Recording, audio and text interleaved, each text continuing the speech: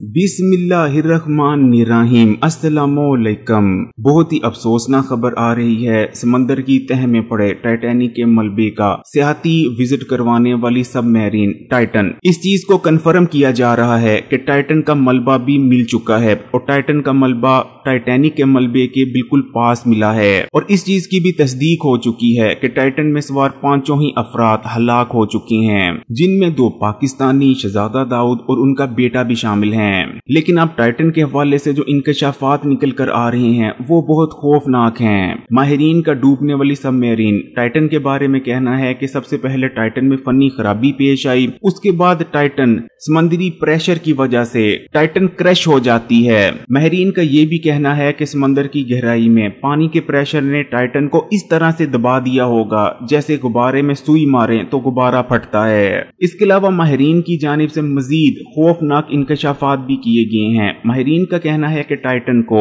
Titanium धात और fibre glass को आपस में मिक्स कर कर बनाया गया था और टाइटन बनाने वाली कंपनी का ये दावा था कि टाइटन सबमरीन 8000 मीटर की गहराई तक जा सकती है। लेकिन माहरीन का कहना है कि अमरीका, जिसके पास जदीद तरीन सबमरीन मौजूद हैं, जो कि फौजी सबमरीन है, फौजी सबमरीन को ज़्यादा से ज़्यादा दो से लेकर तीन हज़ार मीटर की गहराई तक जाने के लिए ही बनाया गया है, जबकि अमरीकी, जो जदीद से जदीद सबमरीन है, वो पाँच हज़ार मीटर की गहराई से ज़्यादा नहीं जा सकती, क्योंकि जितनी समंदर की गहराई बढ़ती जाती है, उतना ही समंदर के नीचे प्रेशर ज़्यादा होता जाता है, जो कि सबमरीन को इस तरह क्रश कर देता है, जैसे आप गुब्बारे को दबाएँ तो गुब्बारा फट जाता है। एक्सपर्ट्स का कहना है कि असल में टाइटन सबमरीन बनाने वाली कंपनी सरासर झूठ बोल रही है। मौजूदा वक्त में इस किस्म की टेक्नोलॉजी मौजूद ही नहीं, कि कोई ऐसी सबमरीन तैयार की जा सके, जो कि समंदर की गहराई में आठ हज़ार मीटर तक जा सके। ऊपर से टाइटल सबमरीन मुकम्मल तौर पर तैयार सबमरीन नहीं थी, बल्कि टेस्टिंग के फेस में थी। यहाँ तक कि टाइटन सबमरीन के अंदर अपना कोरपेट यानी वो जगह जहाँ से सबमरीन को बाकायदा तौर पर कंट्रोल किया जाता है,